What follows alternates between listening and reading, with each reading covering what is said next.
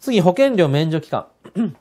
えー、これはまあさっきも見ましたけどね、えー、所得が低い場合とかで保険料免除を受けた場合ですね。えー、この期間を指します。で、先ほど、老齢基礎年金の計算式では8分の4、5、6、7という話をしたんですけども、あれってあくまでも実は平成21年4月以降の免除期間のカウントの計算式です。さっき書いたあの2分の1、8分の5、4分の3、8分の7。8分の4、8分の5、8分の6、8分の7ってありましたよね。あの式はこっちです。平成21年4月以降の話です。それよりももっと前に免除した期間があったという方は、こっちの計算式になります。これはな6分の3、6分の、あすみません、6分の2、6分の3、6分の4、6分の5ですね。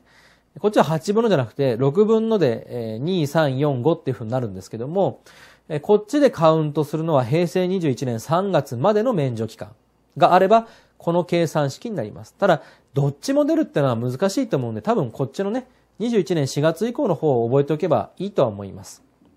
で、なんでこんな6分のと8分のなるかっていうと、えー、全額免除のとこ見てもらうとわかるんですが、今、老齢基礎年金っていうのは実は、あの、税金が投入されています。国庫負担という税金が投入されています。税金で、えー、実は年金賄われている面があるんですね。で、この平成21年3月までっていうのは、ここに書きました。国庫負担3分の1って書いてありますね。つまり、年金のうち3分の1は税金が投入されていると。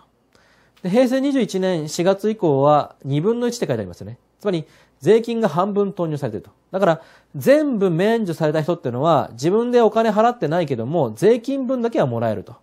3分の1はもらえる。こっちだと2分の1は税金分だからもらえると。なので、ここ3分の1とか2分の1というふうになっています。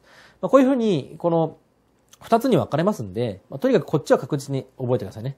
えー、国庫負担、ね。えー、3分の1か2分の1かで、計算式、もらえる金額の計算式も変わってくると。